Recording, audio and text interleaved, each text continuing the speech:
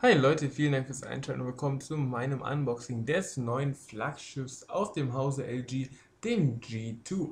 Wir machen einfach mal die Verpackung auf und sehen natürlich oben das LG G2, das wir zunächst mal zur Seite schmeißen. So, dann nehmen wir diesen komischen Halter-Dings da raus.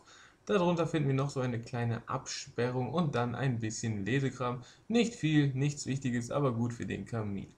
Darunter natürlich das übliche ein paar Kopfhörer und zwar die Quad Beat 2, heißt die zweite Generation und die soll noch einmal ein ordentliches Stück besser gewesen sein. Die erste fand ich schon extrem gut.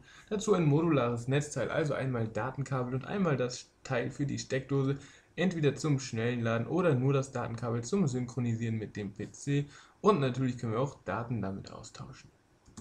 Kommen wir zunächst mal zum ersten Eindruck des Geräts. Das Gerät ist groß, aber nicht zu groß. Es liegt wirklich sehr, sehr gut in der Hand.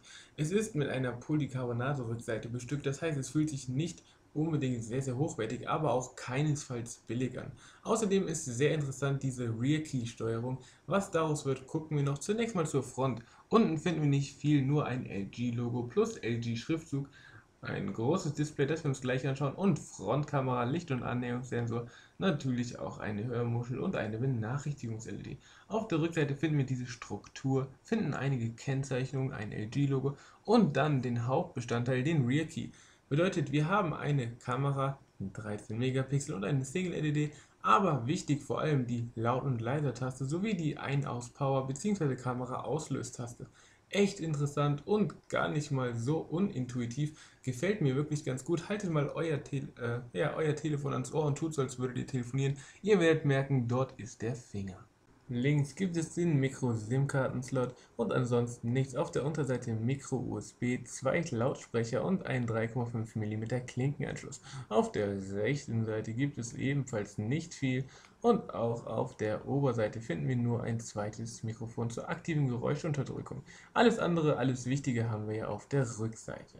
Apropos, Dort finden wir das verrückte Muster, die Rear Key und die 13 Megapixel Kamera. Wie schon erwähnt, wir starten das Gerät mit einem Druck auf die Ein-Aus-Power-Tasten und währenddessen noch ein paar interessante Spezifikationen für euch. Im G2 steckt ein Snapdragon 800 Quad-Core-Prozessor mit 2,26 GHz und eine Qualcomm Adreno 330 GPU. Dazu kommt ein interner Speicher von 1632 GB, 2 GB RAM und ein 3000 mAh starker Akku sowie Android 4.2.2 Jelly Bean und natürlich die Optimus UI. Richtig spannend wird es dann bei 5,2 Zoll IPS LC Display mit Full High Definition, also 1920 x 1080 Pixel. Das sind 423 Pixel für Hinge und schaut euch mal bitte diese Bezel an.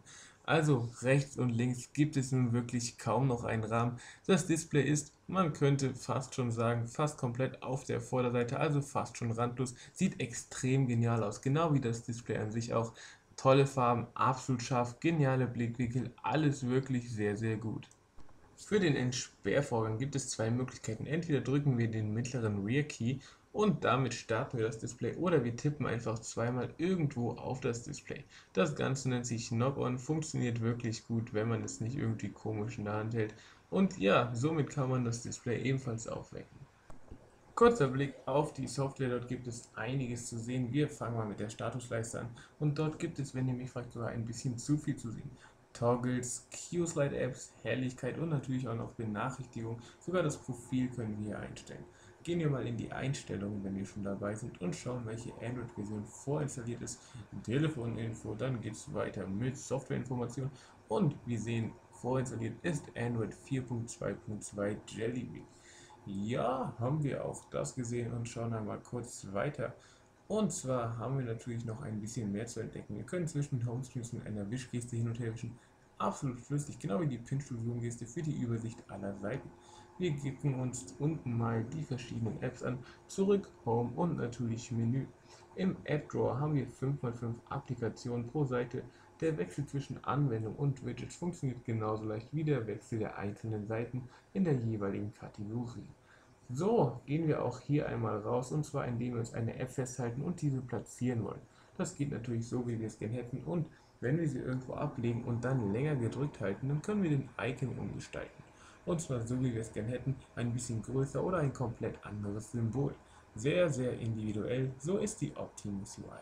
Halten wir irgendwo den Finger für eine Sekunde hin, können wir das Hintergrundbild ändern, Apps oder Widgets hinzufügen. Halten wir die Home-Taste für eine Sekunde gedrückt, sehen wir alle laufenden Anwendungen. Ziehen wir sie einfach nach oben, haben wir die Wahl zwischen Google Now und Quick Memo, das wir zum Beispiel vom LG Optimus G kennen. Das war's. Vielen Dank für eure Zeit. Macht's gut. Ciao.